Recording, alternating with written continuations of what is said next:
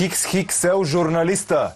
Бодличката на всяка роза, камъчето във всяка обувка, меродията във всяка манджа. Ужасът на всеки депутат. Бъдещият носител на Пулицър. Кото Ошото на българската журналистика, неизбежният Караколев.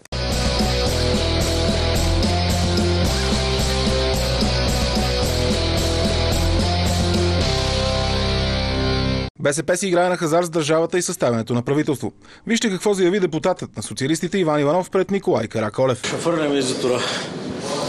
Аз съм И вие ще подкрепите Тора, няма или обратното? точно. Няма как да сме сигурни дали това изказване на Иван Иванов е сериозно или го казва на шега. Вие преценете кое е вярното след като проследите странните действия на Корнелия Нинова от 11 юли до днес.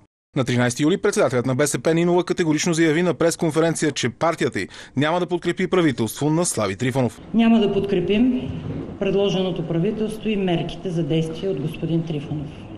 Употреби се справедливия гняв на хората от протестите за поредния политически експеримент, инженеринг или както искате го наречете. Господин Трифонов нанася тежък удар по парламентаризма. Изненадващо или не, 11 дни по-късно, на 24 юли, БСП се съгласи да отиде на преговори с партия Има такъв народ, която от своя страна ги наричаше партия на статуквото и че никога няма да разговаря с тях за обща политика.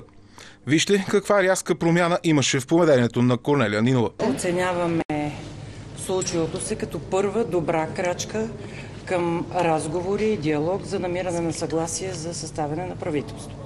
На 6 август сутрешния блок на нова телевизия Корнелия Нинова става все по-категорична, че трябва да има правителство. Ние сме убедени, че трябва да има редовно правителство и да не се разпуска парламента. Това поведение на председателят на БСП Корнелия Нинова се определя от депутатите на БСП така. Фърляме и за тура. Аз съм И вие ще подкрепите Тора, няма или обратното? точно. Ако ви харесат видеята, които правя, абонирайте се за канала.